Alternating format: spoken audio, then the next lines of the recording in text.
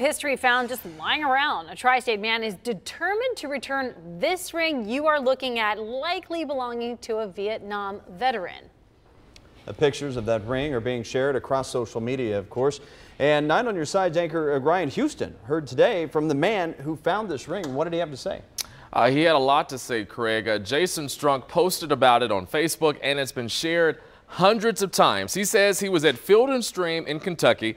Jason says he dropped something and after he went to pick it up, he found a Vietnam veteran's ring. He told management about what he found and left his contact info just in case the person comes looking for it. He says reuniting this ring with the owner is the least he can do. It's their piece of uh, the sacrifice that they, they gave to our country. Um, so I'm sure, sure it's, it's pretty sentimental to them.